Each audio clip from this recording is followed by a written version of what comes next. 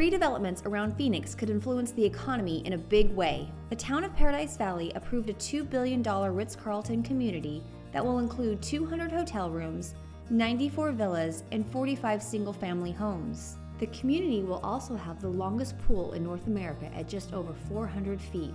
Developers will break ground on the project this spring. The community is expected to open in 2018. The largest aquarium in the Southwest will soon open its doors in Scottsdale.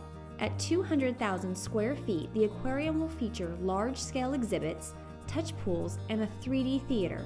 Visitors can also go on a SeaTrek experience and take a tour along the ocean floor.